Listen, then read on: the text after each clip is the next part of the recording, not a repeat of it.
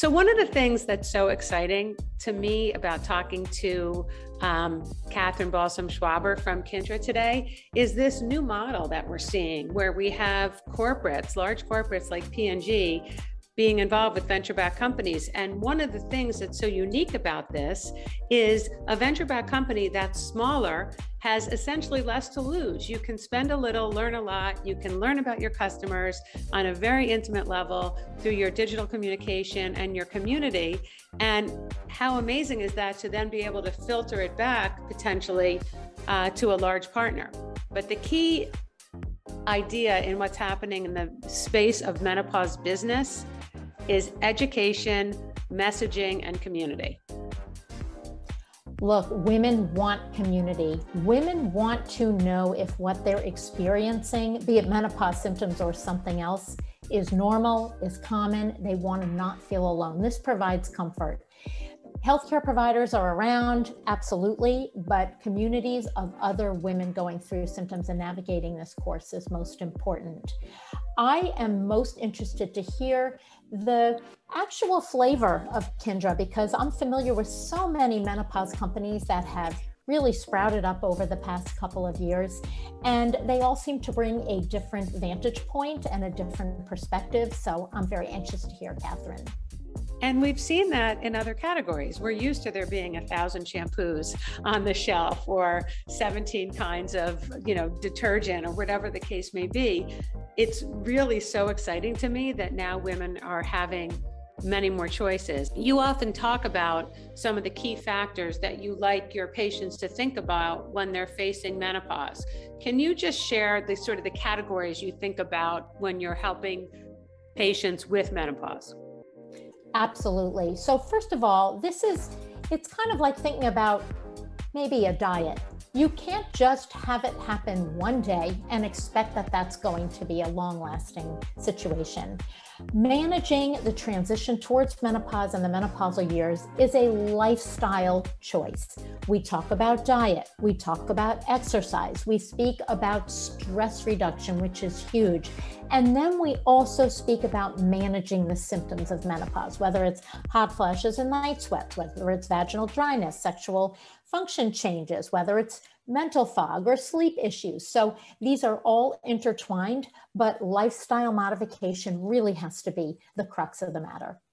And I think it's so important to understand, like so many aspects of women's health, many, many different systems, both physiological and psychological and emotional, are connected. So it's not like you can flip a switch and say, oh, I figured out menopause. It's a process and it really changes depending on what your symptoms are and requires, I think, a long range view. No question about it. Today's episode is sponsored by Kindra, a radical self care company that makes estrogen free essentials designed by women for women and thoughtfully designed to target and relieve the symptoms of the menopausal journey. Welcome to the Business of the V. Hello, friends and colleagues. I'm Dr. Alyssa Dweck. And I'm Rachel Scherl.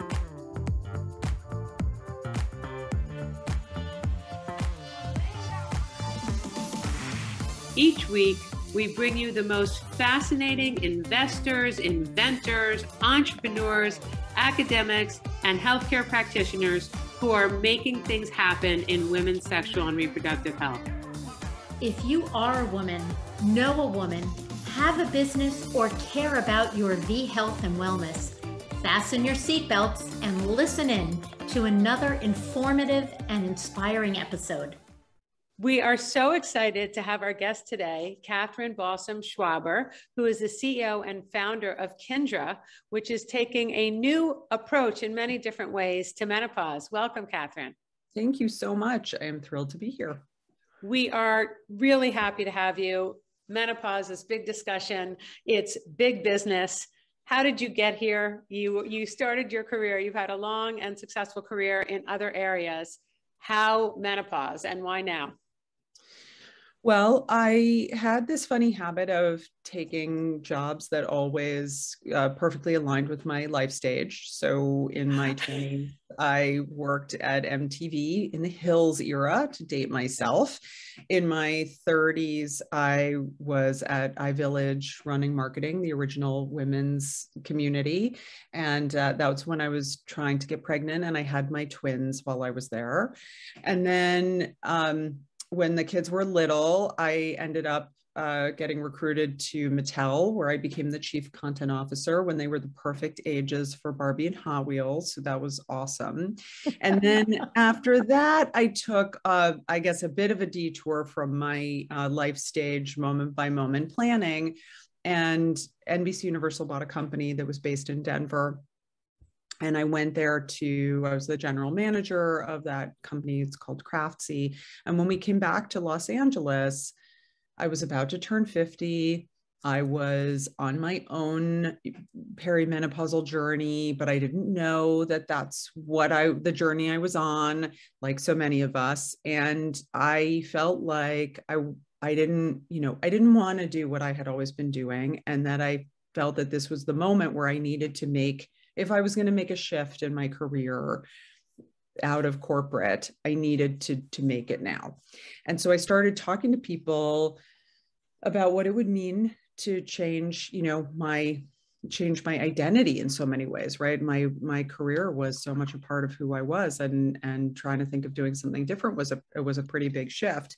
And at the same time um, i hadn't been feeling great I had been feeling this like sense of achiness all the time, and weird stuff was happening to my hair, and my skin was weird.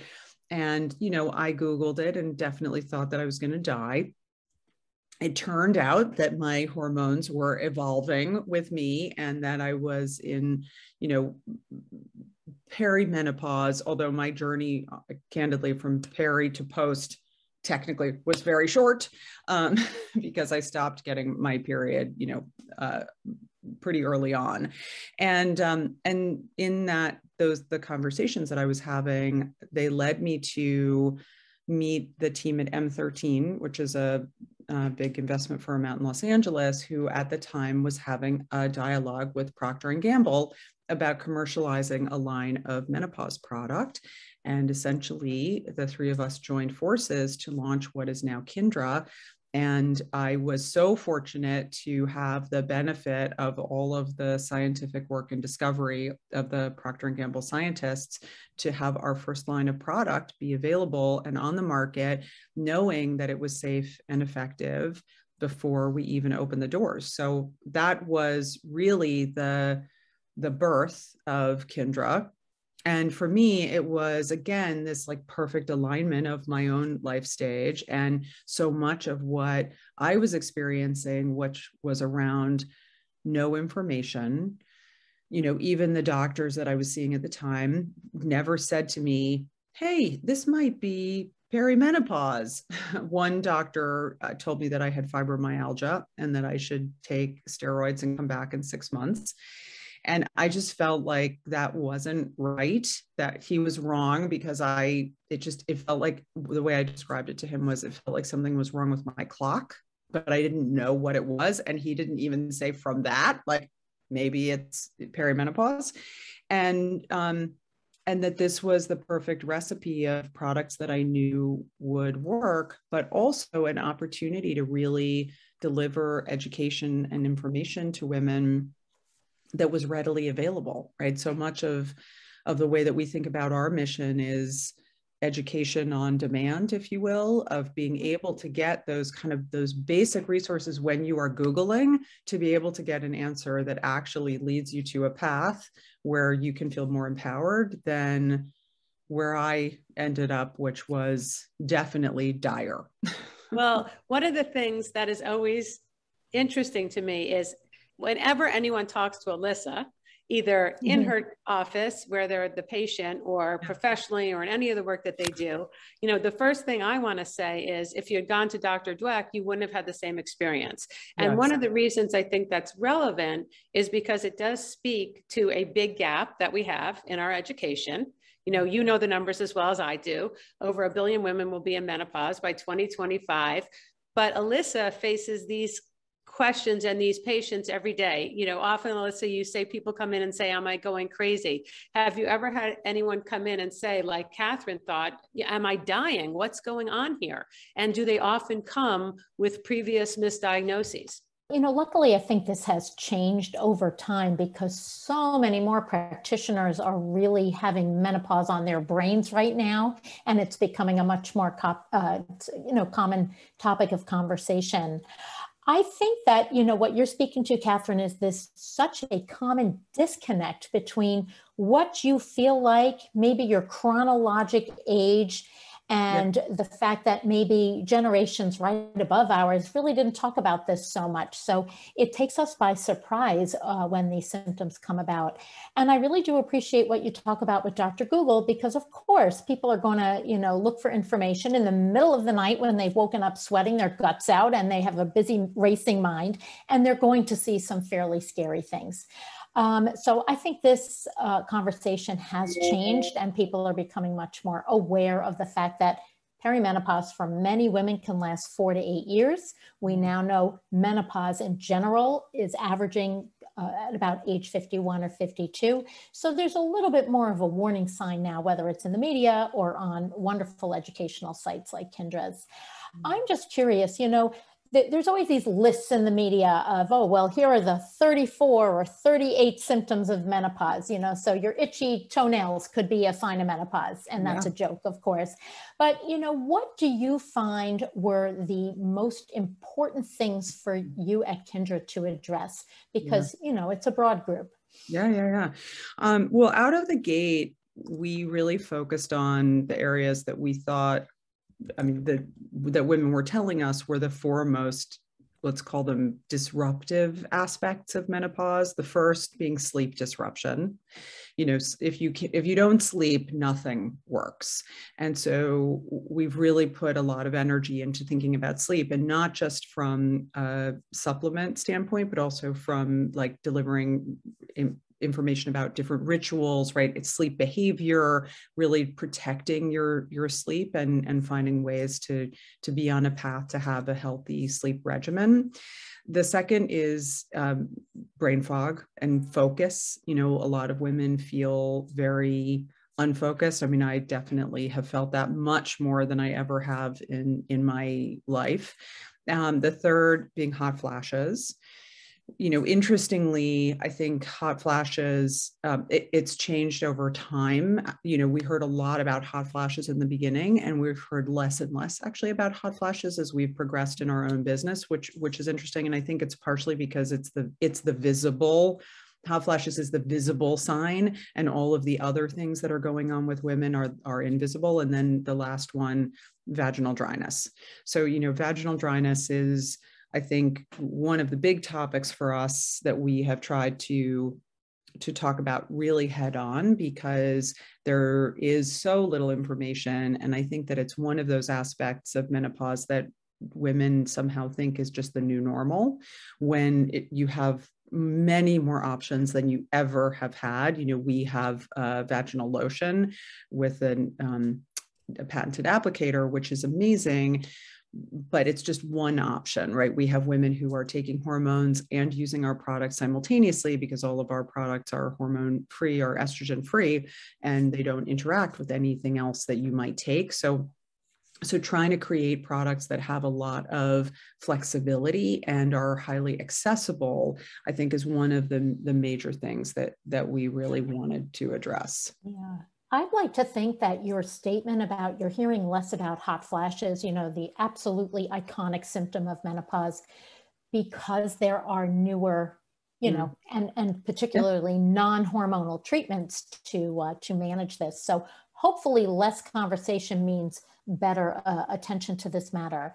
Mm. You know, in regard to menopause, and you know, based on uh, the way Rachel introduced this, uh, yes, women come in and they think they're going crazy because they can't focus. But I think that ties in so intricately with sleep or Yeah. lack thereof because that you know the first thing people go to is oh my god i must have alzheimer's which is so frightening Yeah. um, but really a lot of the menopause is due to interrupted and poor quality sleep so that's a really uh, important subject Yeah, it is. And I think it's one of those things where, you know, all my life I was an incredible sleeper and I can still fall asleep very well, but I wake up, right? I wake up a lot during during the night and you don't necessarily realize how much that disrupts your right your sleep even if you are so that's one of the things we hear a lot actually from our community is that this like multiple disruptions during the night from your body that really changes the quality of your of your sleep which is it's a hard thing to overcome i think. And then it contributes to really to everything stress and anxiety i mean right weight gain everything. It, sleep is um, is like the tip of of the spear for so many issues So one of the things that's so interesting about being in the space and having been in it from one perspective and Alyssa from another um, for so long is that the conversation and the language and the approach and the accessibility in this area has changed. There are a lot more players in the space, a lot more people talking about it. Um, we always talk about the rising tide raises all boats. Share with us what your particular perspective is in terms of your community. You're selling online, you're creating conversations. What is the Kindra voice, if you will? And what are you trying to communicate just at a very high level? At a very high level it's about fostering more conversations and and really breaking down the stigma of menopause. You know we just recently launched a new platform called uh, couch conversations where we hosted with gloria steinem and gail king a great conversation with a group of women talking about you know why we feel why we still feel even when we have these conversations going on why we still feel uncomfortable in certain circumstances talking you know talking about menopause as if the conversation of menopause is the abnormal part where really the abnormal part is this is something that's happening to half of the population that we are really encouraged not to share with one another. And that so much of these conversations you know feel that they have to happen in secret. It's actually one of the the things i thought was really interesting in that in that couch conversation was sort of someone saying well we're all talking about it so much now. And the reality is there is a group of us who are really talking about it a lot but we are a very small subset of the population. And when i communicate with community members all over the country you know they're still saying this is the first time i've ever been able to have this conversation with someone you know and especially even through our customer service you know where they're talking to women live for the first time who are engaging them about a dialogue around around painful sex you know and that that they haven't been able to talk about it until now. And so i think that's where we think about you know our role is to open up that dialogue and then help you find solutions that really work Well, one of the things that's so exciting, besides any day that I get to talk about this with smart people, is a great day for me. But the impact, I just want to repeat what you said.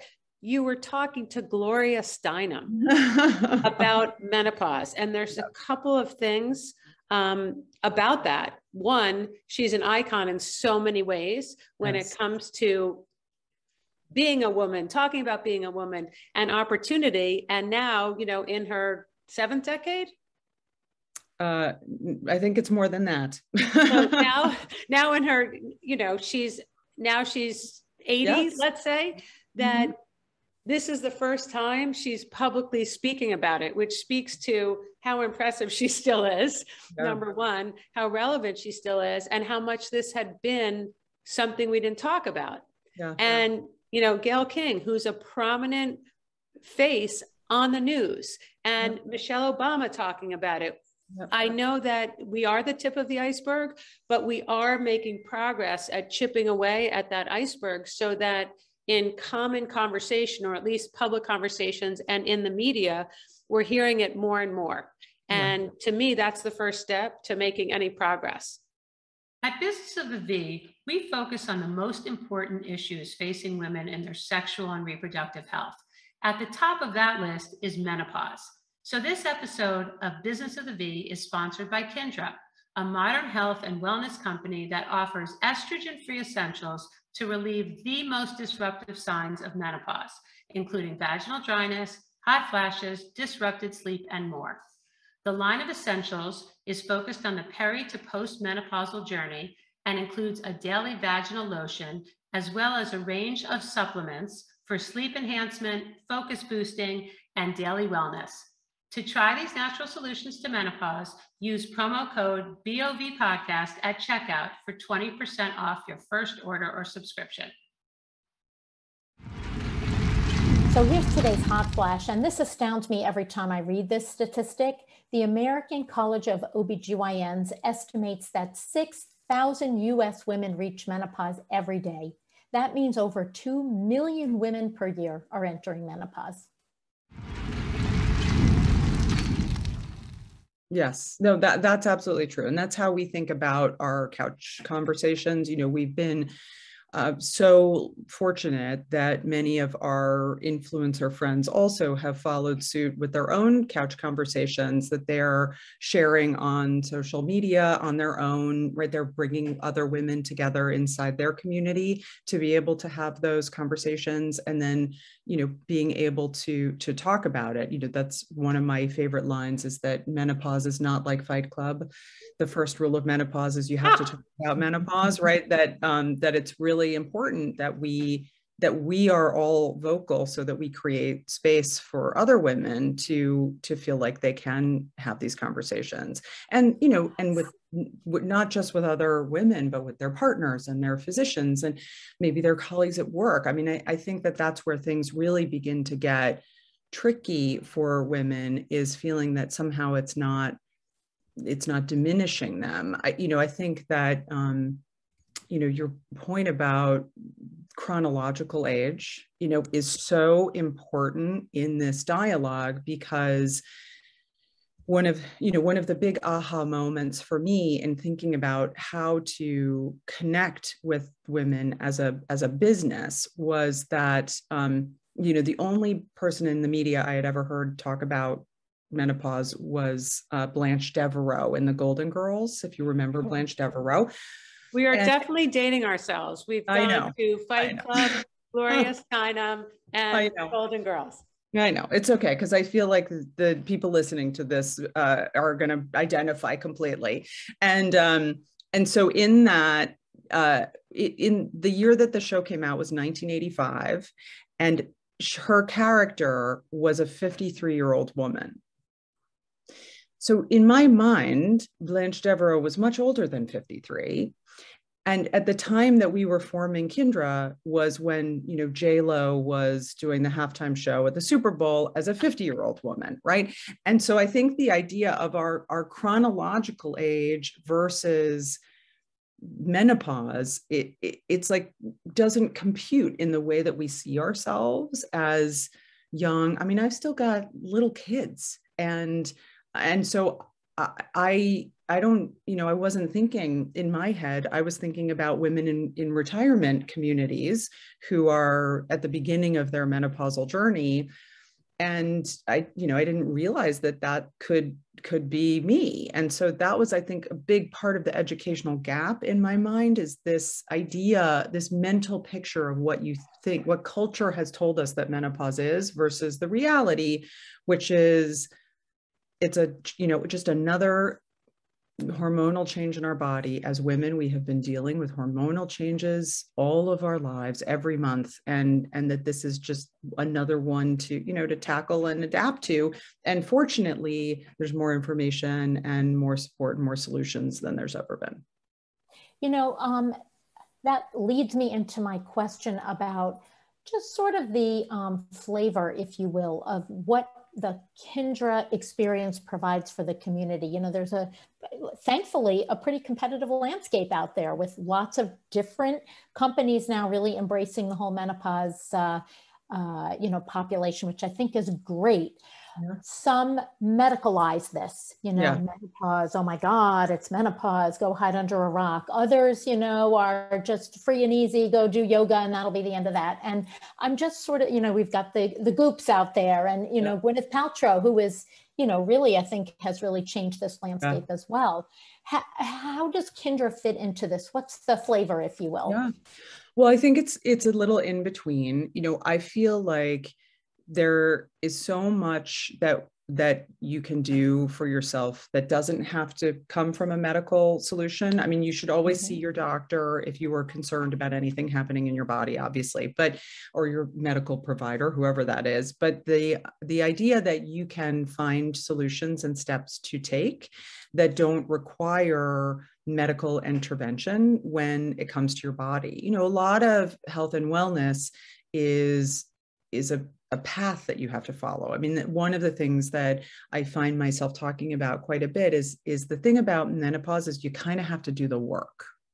Right? You kind of have to do the work for yourself to figure out what's going to work for you. So what you know when you talk about 34 or 38 things that could be happening in your body, no woman is having the same experience. So you have to kind of self-identify. Your doctor isn't going to be able to do that for you. You have to say this is what's happening in my body and then based on what works for me and what doesn't, here is the regimen I'm going to create for myself. So I think about us as helping to curate that regimen in a way, which is to give you the information and the tools and the support through community for finding that path.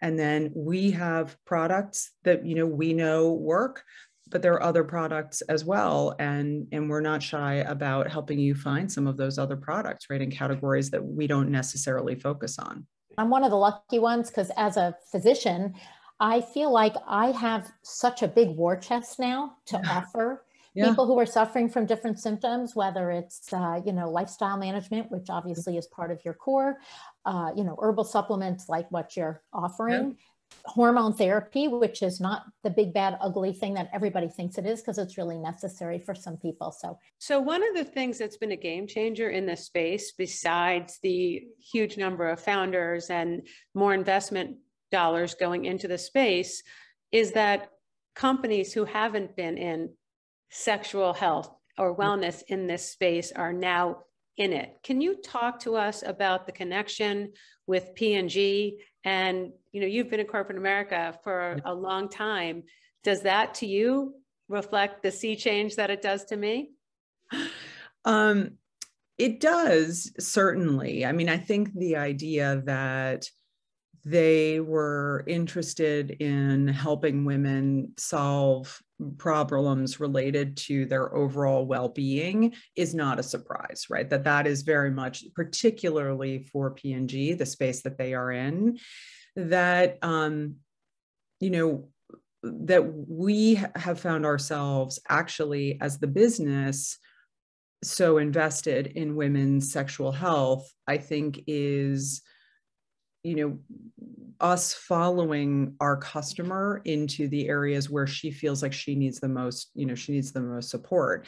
And i think the marriage that they are trying to explore between venture backed business and corporate giant is is fascinating because it's very hard like speaking from my old world it's very hard to be able to experiment and and let the consumer lead you the way that that startups can from a corporate seat. Because you know even in some of my previous roles the economics of those the size of those businesses really don't allow you to launch anything that isn't like at global scale.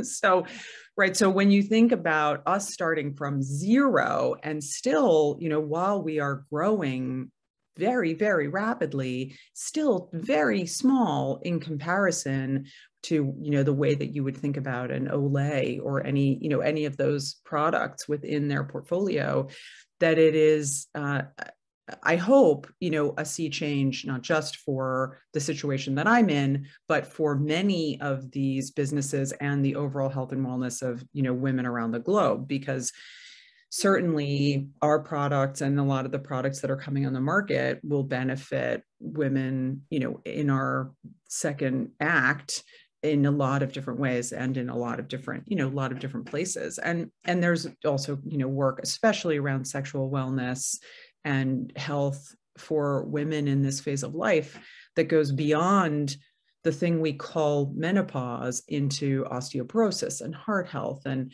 mental health. I mean, that there's a lot of work still to be done there where I feel sometimes that again, like we're just at the tipping point of a lot of the opportunity that will come to support women in new ways that hasn't even yet to be explored. And I do have hope that then, you know, businesses like P&G and others will be able to pick up those, right, those products that are so magnificent and then, you know, support getting them all over, you know, all over the world.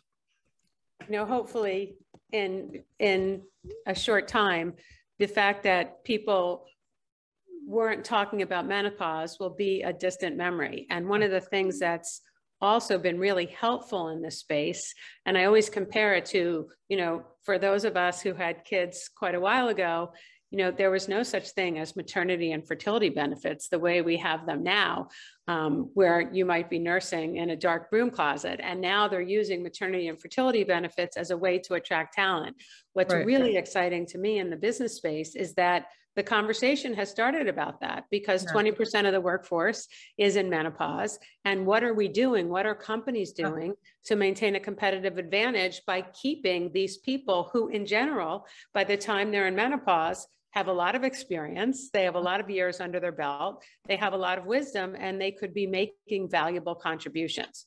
Yeah, yeah. We actually did an employee toolkit uh, that we published on the site that was incredibly well received, and um, for that very reason, which was we, you know, we began to hear a lot of anxiety in the community about women who were possibly having to go back to the office for the first time in a while and experiencing some of the right effects of their changing body maybe having hot flashes, you know, in public where they really had been right when we were all living on Zoom permanently, that you were able to to sort of manage in your home. And as part of that, we put together a toolkit for women who were going back to the office, just on, you know, tips and ways that you can manage, even if you, you know, guides on how you could try and talk to your colleagues or even your boss if you felt that that was something that you wanted to do.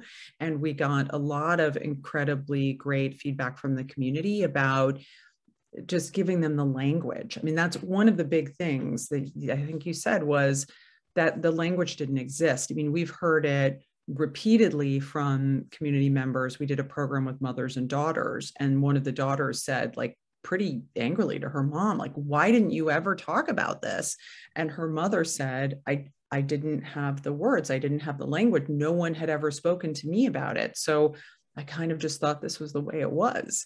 And um, and so I think in all of these circumstances, you know, it, it's that too. How do you how do you talk to men that you work with in the office about a hot flash? And then what do you do? You know, in a meeting, do you stay in the meeting and have the hot flash? Do you leave the meeting? You know what what is right for you in that moment which i think is also right it, all of this is so personal to your own comfort level that it's a lot you know again it like comes back to having to do the work for yourself and figure out really what is the you know the right thing for you and and then like owning it you know which is uh, which is where you feel more empowered right? When you have the information and you have the tools you'll feel better in your own skin no matter what. I think we have a long way to go before we're speaking to our boardroom colleagues about uh, whether or not you want to maintain your, uh, your stature because of a hot flash. So yeah. I'm curious what kind of products or uh, you know new tools are coming down the pike for Kindra. Yeah, well, so we have um, some new products. I mean, we've been listening very, very carefully to our customers, and I think there are a few areas, especially when it comes to vaginal dryness, um, that has been an area where there's been so little innovation and support where we are exploring uh, new opportunities there that we're really really excited about. And then um, of course you know while the demand and discussion for hot flash is not doesn't feel like it's at its peak there's always demand for new solutions when it comes to hot flashes. So that's another area that we're exploring. And we're going to continue with our couch conversations initiative with other um, friends of Gloria's, and uh, we're really, really excited about that because it feels like it's having a big impact and um, you know, can continuing to build a business in all the ways that we can and keep the conversation going. Do you see expanding into retail at any point, bricks and mortar? Yeah, I mean, I think that it's you know as a company that sells products it's a pretty natural progression at some point. You know one of the things that we have found through some of our partners is that it's still a pretty high touch experience right? It's hard because education is so much a part of the work that we do and that women don't necessarily know what it is that they want to buy. You know i think it's very different than beauty. So, right when you see a lipstick in your feed, you can say, Is this the right lipstick for me? When you see a menopause product in your feed, we still get uh, people writing in, like, Why am I getting this ad? You know, and and so uh, you know, the idea that these kinds of products even exist is is still new for you know the vast majority of customers. So i think that when we think about it it's really in high touch environments for now where we have an opportunity to educate you and provide you with solutions in the same experience.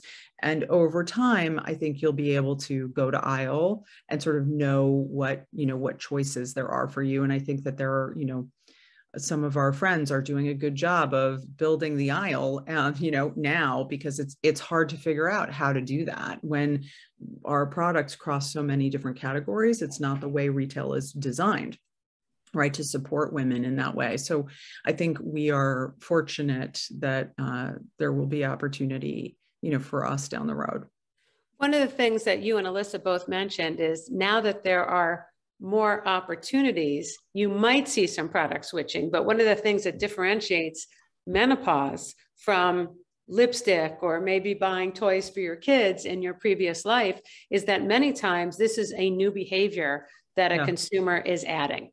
Yeah. She might not be replacing one lubricant for another or mm-hmm. one supplement for another. She might be actually thinking about this for the first time and she's tiptoeing into this category which is one of the reasons, as you mentioned, that education is so important. Yeah, no, that's that's absolutely true, and I I think that um, you know one of the things that you don't see as much in this category is uh, like exact products you know many of the same exact products. I think that that's part of part of the beauty of this is the the lack of innovation has given all of us an opportunity to kind of try different flavors as you said of how you know how we can create options for women in this category. And um, you know and that it, it does take some time i think to figure out what is right you know right for you and right for your body because um, sometimes you know a cooling product will really work for you. Sometimes it will not. And and i think that that also comes down to hormones right? It's really so much about